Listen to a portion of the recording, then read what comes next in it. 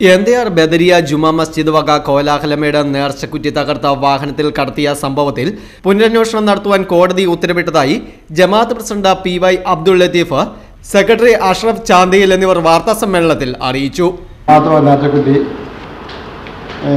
അബ്ദുൽ സലാം തുണ്ടിയിൽ ഉസ്മാൻ പണിക്ക് വീട്ടിൽ സെയ്ദലി പണിക്ക് വീട്ടിൽ ഉമ്മർ പണിക്ക് വീട്ടിൽ അബ്ബാസ് പണിക്ക് വീട്ടിൽ മസ്താഖ് പണിക്ക് വീട്ടിൽ ഉസ്മാൻ മകളുടെ ഭർത്താവ് സർക്കാർ ജീവന ഗദ്ദാഫി കോലാലമ്മയുടെ സ്വദേശിയായ പാൽപ്പാണ്ടി എന്നിവർ ചേർന്ന് പിഴുതു മോഷ്ടിച്ച് കടത്തിയതുമായി സംബന്ധിച്ച് കേസിന് തുടർന്ന്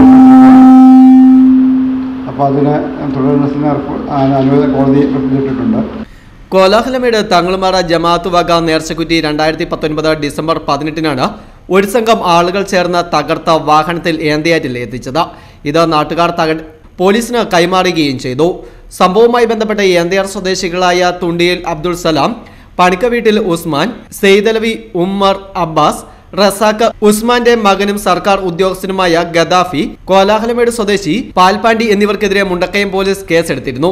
അന്നത്തെ സി ഐയും പിന്നീട് കൈക്കൂലി കേസിൽ അറസ്റ്റിലുമായ ശിവകുമാറിനായിരുന്നു അന്വേഷണ ചുമതല.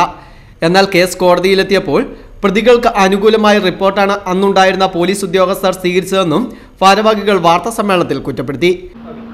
കോലാലമേട് പള്ളിയുടെ വകയായിട്ടുള്ള സ്ഥലത്ത് പള്ളി സ്ഥാപിച്ചിരുന്ന നേർച്ചക്കൂറ്റി ഏകദേശം ഒരു മൂന്ന് വർഷം മുന്നേ രണ്ട് വർഷം മുന്നേ ഈ ഈ പറയപ്പെടുന്ന പ്രതികളെല്ലാവരും കൂടെ കൂടി അവിടുന്ന് മോഷ്ടിച്ച് കടത്തി കൊണ്ട് നശിപ്പിക്കാൻ ശ്രമിച്ചു എന്നുള്ളതായിരുന്നു കേസ്.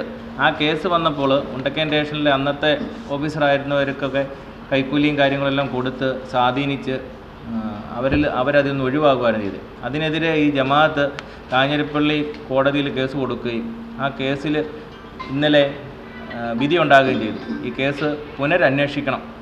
അല്ലെങ്കിൽ ഒന്നും കൂടെ അന്വേഷിച്ച് റീ അന്വേഷിച്ച് യഥാർത്ഥ പ്രതികളെയും തൊണ്ടികളും വാഹനവും എല്ലാം കണ്ടെത്താൻ വേണ്ടി ഒരു ഓർഡർ മിനിഞ്ഞാന്ന് കോടതിയിൽ നിന്നുണ്ടാകുകയുണ്ടായി ആ കാര്യത്തെക്കുറിച്ച് ഒരു വിശദീകരണം ഒരു പത്രസമ്മേളനം നടത്താൻ വേണ്ടിയാണ് ജമാഅത്ത് ഭാരവാഹികൾ ഇവിടെ ഇരിക്കുന്നത് അപ്പോൾ അതിനകത്തുള്ള പ്രതികളെല്ലാം തന്നെ പിടിക്കാതെയാണ് അന്ന് കേസുമായിട്ട് അന്നത്തെ ഓഫീസർമാർ മുന്നോട്ട് പോയിരുന്നത്. അപ്പോൾ അതിന് അവർക്ക് അതിന് പ്രതികൂലമായിട്ട് ആ പ്രതികളെല്ലാം തന്നെ പിടിക്കണമെന്നും യഥാർത്ഥ പ്രതികളെ പിടിക്കണമെന്നും തൊണ്ട് മുതൽ ഹാജരാക്കണമെന്നും എല്ലാം പറഞ്ഞാണ് കോടതി പറഞ്ഞത് അടുത്ത മാസം മുപ്പതാം തീയതിക്കുള്ളിൽ ഇതിന് ഫൈനൽ റിപ്പോർട്ട് കൊടുക്കാൻ വേണ്ടിയാണ് കോടതി നിന്ന് ഓർഡർ ആയിരിക്കുന്നത്. പള്ളി പള്ളി അന്ന് ഈ ഉസ്മാൻ എന്ന് പറഞ്ഞ ആൾ പള്ളിയുടെ സ്ഥലത്ത് വ്യാജമായ ആധാരം ചമച്ച് അദ്ദേഹത്തിന്റെ മക്കളുടെ പേര് ചമച്ച് സ്ഥലത്ത് വെച്ചിരുന്നെന്ന് പറഞ്ഞാണ് അന്ന് ഒഴിവായി പോയത് ഇന്ന് അതെല്ലാം കൂടെ ഉള്ള അന്വേഷണമാണ് ഇപ്പം നടക്കാൻ പോകുന്നത്. വാഹനം ഓടിച്ച പാൽപാണ്ടി നേർച്ചക്കുറ്റി കടത്തിയ പിക്കപ്പ് വാൻ എന്നിവ കേസിൽ നിന്നും ഒഴിവാക്കി. ഇതിൽ വൻതോതിൽ കൈക്കൂലി പോലീസ് ഉദ്യോഗസ്ഥർ മേടിച്ചതായും ഭാരവാഹികൾ വാർത്താ സമ്മേളനത്തിൽ കുറ്റപ്പെടുത്തി. ഇതിനെതിരെ ജമാഅത്ത് committee Kanjirappally first class judicial magistrate കോടതിയെ സമീപിച്ചു. തുടർന്ന് ഒക്ടോബർ മുപ്പതിനു മുമ്പ് റിപ്പോർട്ട് നൽകുവാൻ മുണ്ടക്കയം പോലീസ് എസ് എച്ച് നിർദ്ദേശം നൽകിയിരിക്കുകയാണെന്നും ഇവർ പറഞ്ഞു.